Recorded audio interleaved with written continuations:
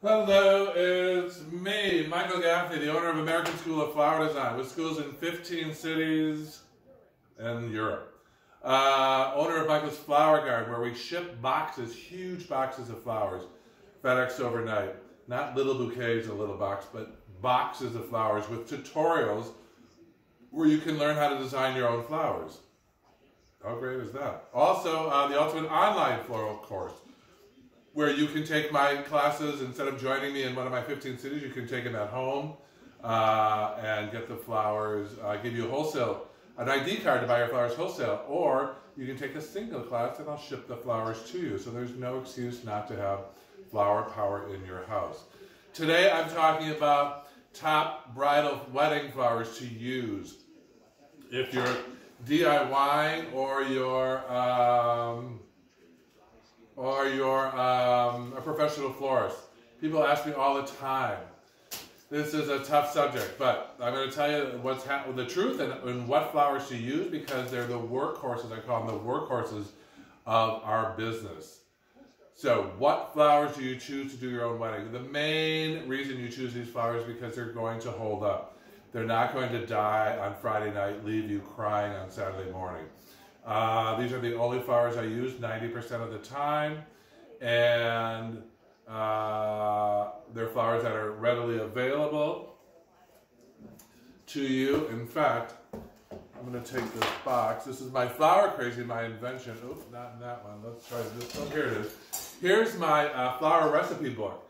This is Flower Crazy. I sold it on QVC, and now you can buy it on my website, Flower School 101. Get that. You'll make these in three minutes for your wedding problem solved. And here's your recipe book.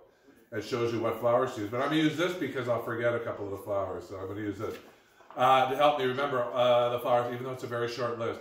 So again, everybody thinks they don't know the names of the flowers in the flower market. You already know them.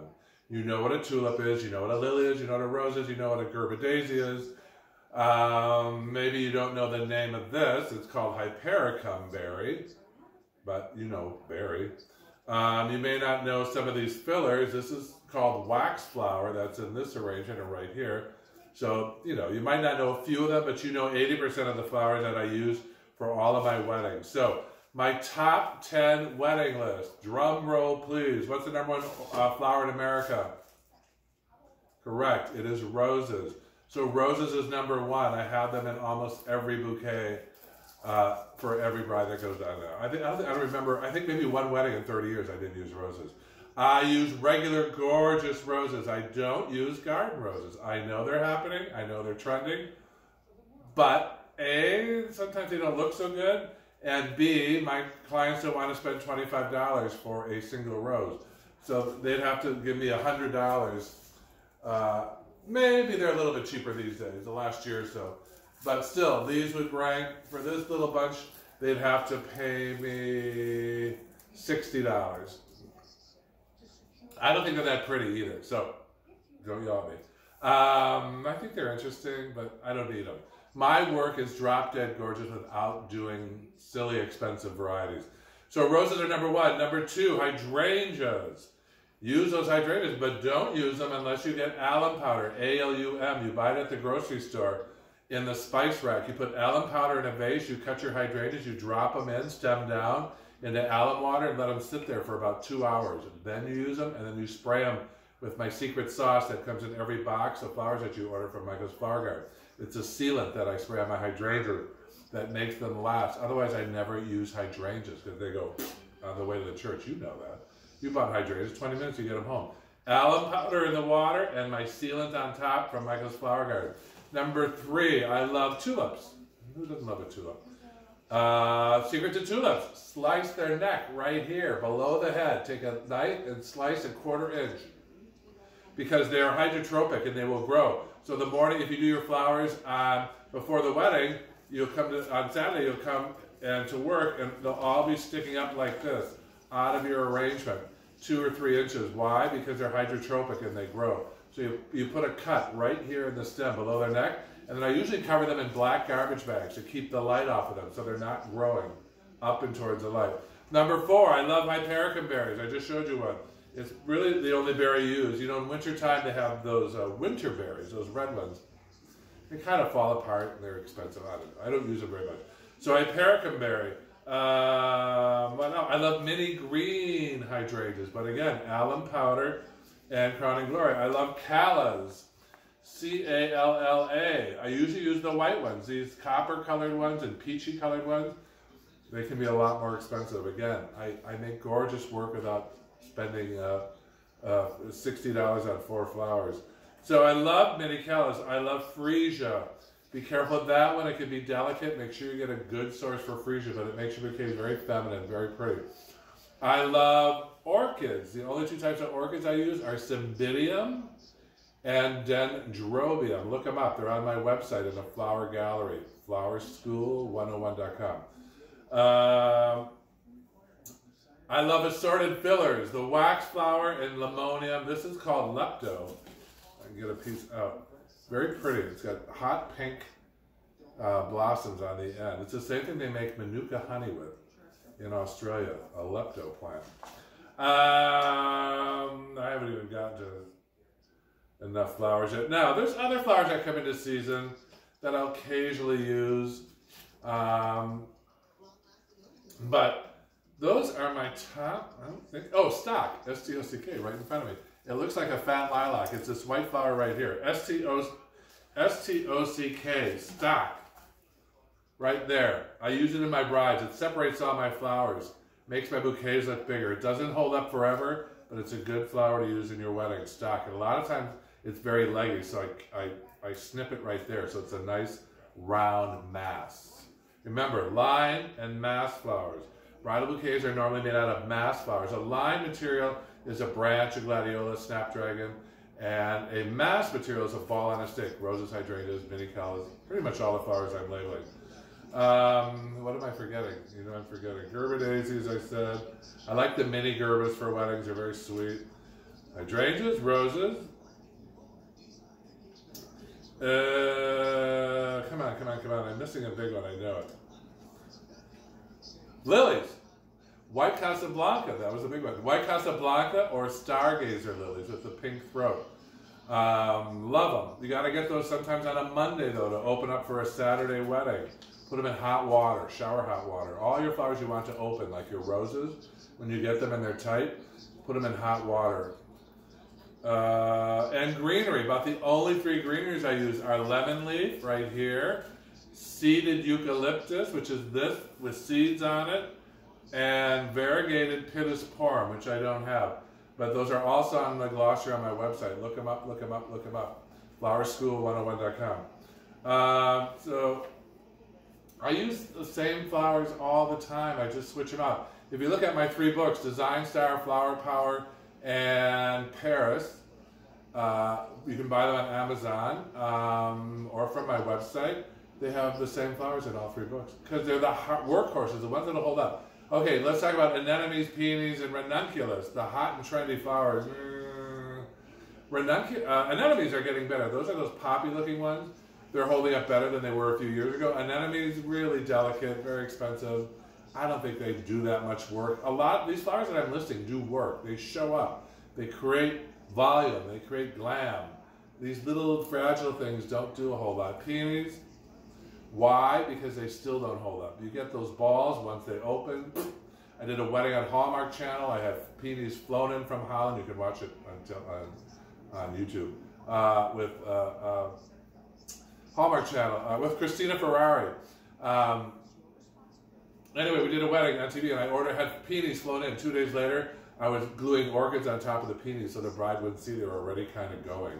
Christina Ferrare's yelling, Michael, where are you? This wedding's live in two minutes. I'm the not really spitting, gluing orchids on top of the peonies. Um, so that's what I think of peonies, and they're way expensive. They're eight. They're retail for twenty to twenty-five dollars a stem. Again, five flowers for hundred dollars. I if they have to have peonies, I get them balls, you know, the tight ones, and I put them in like a mixed bouquet. I go, there's your damn peonies. Be happy. Once they blow open, which is where you really love them. My grandmother's backyard had blown open peonies all over the place. Yes, but not practical in a wedding. You need flowers that are going to hold up and deliver on Saturday. So make sure you get that crowning glory and spray everything, or the uh, Michael's Secret Sauce that I throw in my boxes. You get a free one from me on American in uh, Michael's Flower Garden. Um, there are other things like irises, alstroemeria, that I'll use in day projects like vase flowers, even carnations, but I don't use those. Those are my B class flowers. I don't use them a lot in weddings. And I know I'm forgetting a flower or two. No, no, no. Looking around. Uh, but those are the top. If you do just those bridal flowers, you'll be happy. Here's your stargazers. Those pink throated ones. Everybody loves those. Some people don't like the smell. I do. Um, this picture, I just saw one. Uh, look at this bouquet. Perfect for a wedding table. And so easy to do. If you order flowers from me and buy Flower Crazy, you can do it for probably a third of what you pay from uh, a designer to create that. I'm here to save you money. I'm here to teach you how. I'm here to put flowers in everybody's house. Whenever you order from Michael's Flower Garden a box of flowers, I send a second bouquet to someone in assisted living or nursing home on your behalf to cheer them up because that's what I like to do. Uh, baby's breath, not much. Nobody wants it. Uh, you know, this book there's lavender. Eh, you don't really use it very much. So there's other flowers you could pick up and add to that, but those are the main flowers to use. The roses, the lilies, the tulips, the stock, the mini callas. Those are your main workhorses for the day. Yep. If you look at all my books, you'll see. Uh, other things like kale is trendy right now for that Napa Valley wedding. I do. I'll use some kale. I'll use yarrow, the yellow flower, but yellow doesn't work in most weddings. Um, so there are other flowers I use, but it's unusual. So keep your keep your your wedding list to that. If you have any other, any questions, send me an email. I will answer, but I tell you, those are the flowers that hold up, that you know you design. What date I do my weddings on, by the way? We learned this in class. Wednesday, correct. I do my weddings on Wednesday. I finish them on Thursday, and Friday I stand around like this. What time is that wedding? Tomorrow? When I used to smoke. Um, weddings are done on Wednesday. Why? When you go to a wholesaler, if you come to my classes, you'll see everybody's there on Wednesday because everybody knows the flowers are there by Wednesday for that weekend's event. And they're sitting in coolers and they're dehydrating and gathering bacteria, losing moisture and fading. So every designer knows to pick up their flowers on Wednesday. We design our bouquets like this. We spray them with my secret sauce and we put them in the cooler or a cool room. Another thing, you do not need a cooler to be a, a wedding designer. You need an air conditioned, air conditioned room. And you uh, let them drink water for Wednesday night, Thursday, Friday. And the only thing you do on Saturday is you wrap them with the ribbon and the pins for the brides and bridesmaids, which I'm going to show you in another video. But you do all your weddings on Wednesday and Thursday and Friday, you just chill out. Thinking, what did I forget? Is there anything else? Hmm, you go over your list 16 times. Um, that is another secret to doing a wedding easily. If you forgot something, you have a whole 24 hours or better to run back to the wholesaler and say, oh my God, I forgot this bouquet for the altar, which you won't. I never have. So do your weddings way ahead of time and chill out. Get it all done. You can green it. We talk about greening, and here's another secret. I'm giving it all away. Greening in, where you prep your containers. It's on the uh, Ultimate Floral uh, Wedding Design course. You green in your containers on Monday. Those are all those will last a month. You do those on Monday with lemon leaf, salal, or seeded euc, the three, and those will sit around for a month. But you only need, you do them on Monday. So when your flowers come in on Wednesday, and you get the ones you need to open by putting them in hot water for about three hours, like roses. Then you just stick your flowers in. Boom, boom, boom, boom. Next centerpiece. Boom, boom, boom. Boom, boom, boom, boom. Next centerpiece. Boom, boom, boom, boom, boom, boom, boom. Next centerpiece. So don't be afraid. In conclusion, I'm saying don't be afraid of weddings, but you need to know some things. You need to know which flowers to choose. You need to know you don't need an air a cooler to do them. You need to know you can start them on Monday. You need to know you do the majority of on Wednesday, Thursday, and they're easy. So, if you have any questions, call me. Um, the video I did just before this, I'm giving away uh, flower uh, free courses, free wedding design courses. So, find that video and enter. All you gotta do is, is guess who I was talking about, what celebrity, and uh, or send me a picture of a bouquet you made. Michael Gaffney, uh, uh, the man of the flowers, saying, uh, "Visit me in classes if you're ever in one of the cities I'm in. I'll be happy to welcome you in. You can always sit around." And watch. My students do fantastic work. Watch the videos online. They blow my mind every every Saturday when they do their weddings on their own. I'm like, oh my God.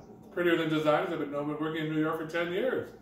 So, Michael Gaffney saying, keep blooming, and I'll see you in the next video. Subscribe if you want more action, more flowers in your life, uh, and go to Michael's Flower Garden or flowerschool101.com. Peace.